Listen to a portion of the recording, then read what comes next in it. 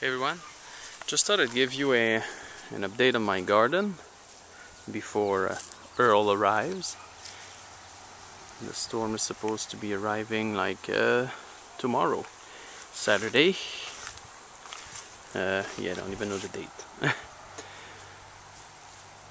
and I suppose that the I just attach all my tomatoes and I suppose that the biggest hit will be my sunflowers my Brussels sprouts are looking great. I just sprayed them with as little BTK as I could. Look at those. Because they are infested by the little green worms. I can't show you a butterfly because it hid but there was a lot uh, of them just a few minutes ago. My uh, pumpkins are really growing well. Look at this pretty great and it's not growing like uh, the one I gave uh, to getting there green. It's actually growing the right way. It's the dog look little one. They start out like weird shape but they end up getting you know normal shape. Uh, and my favorite plant this year is the squash. They're everywhere I look, there's a squash. Winter squash. Here, look. Another one. Another one. Smaller one right next to it. It's pretty great. I love squashes. Look, another one there. Another uh, nice plant is my super huge I'm six feet tall. I'm not sure if you can see. So yeah, I'd say it's about uh, 12, 12 feet at least. Got a few zucchinis, picked them up. I got some uh, tomatoes in the greenhouse too.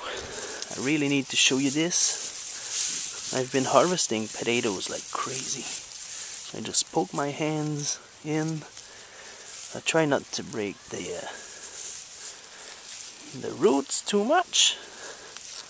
But it's uh, there. There's one. Let me just get it. That's not one gonna be a big one. Still, it's pretty nice. so yeah, potatoes can grow in seaweed. Oh yeah, that's a big one. Look at that. pretty damn awesome. They grow very well in, in this. And like I said, I've harvested already like oh, over 10 big potatoes like this. Just from my buckets here. So yeah, pretty great. I'd like to get those tested to see, uh, you know, what the vitamin contents are. Just curious about that. It's a tiny zucchini.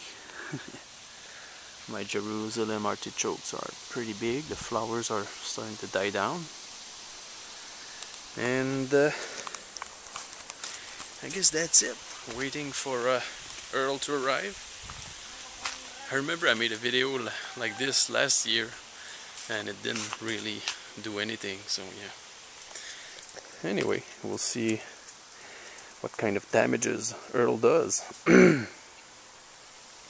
Over there uh, all got roots vegetables so you know they're not gonna be bothered that much. So yeah that's it. And uh, oh might as well show you the greenhouse. I harvested some onions already. I'm gonna take out my basilic today and dry it up because yeah it's gonna be get beaten up by Earl. And I've got some pretty big plants over there basilic plants. Basil basil. Basilic is in French. Look at this. Oof, it's hot in here. I got some weird little peppers. Oh yeah, I have to. oh, look at that. This was just a, a sucker. Took out on one of the tomatoes. I'm probably gonna bring it indoor. And ground cherries. Still one here. It's a small one, but still. Look at that. Beep. they taste so good. Like they're everywhere. Oh, that's a big one. Yeah, they're all falling down now. As soon as you touch the plant. there you go. Look at that. Oh yeah. It tastes so good.